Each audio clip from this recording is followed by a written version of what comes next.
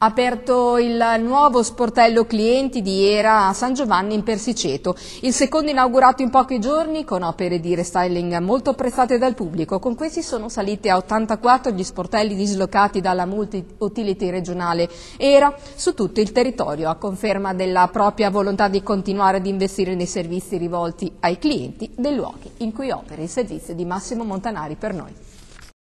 È stato inaugurato lo sportello di Era di San Giovanni in Persiceto. L'inaugurazione di questo sportello segue di pochi giorni quello di Casalecchio di Reno. Sono così 84 gli sportelli serviti da Era su tutto il territorio, a sottolineare l'intenzione della multi-utility di continuare ad investire nel servizio rivolto ai clienti e nei luoghi in cui opera. Questi sportelli sono la manifestazione tangibile del fatto che ERA vuole rimanere e rimane una società radicata nel territorio, è eh, l'unica società nel settore che investe in maniera significativa eh, sul mantenimento del rapporto fisico con i clienti, eh, questo investimento ovviamente va affiancato all'investimento che stiamo facendo su call center e sportello ERA online che eh, ci stanno dando ottimi risultati stati. San Giovanni in Persiceto tre anni fa abbiamo avuto con la comunità locale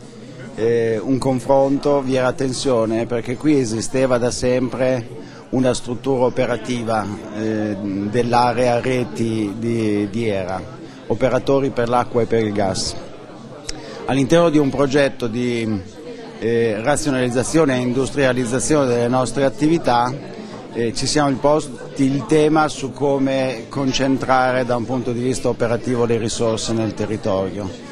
Eh, il criterio che abbiamo adottato è che le persone, i cittadini non debbono spostarsi, mentre invece le nostre strutture, le, i nostri mezzi possono ampiamente spostarsi. A Persiceto eh, ci fa particolarmente piacere che ERA abbia scelto di insediare in modo definitivo e anche, come si può vedere, anche molto apprezzabile, una, una sede e quindi uno sportello dedicato ai cittadini, ai cittadini che sempre di più necessitano di un rapporto e di un dialogo costante con un'azienda così importante che gestisce servizi così direttamente connessi agli interessi della popolazione e che ora e oggi è consolidata e quindi potrà dare sia migliori servizi e maggiori servizi alla popolazione, ma anche garantire un dialogo e una risposta sui problemi, sui singoli problemi, sulle singole problematiche che i cittadini si troveranno ad affrontare.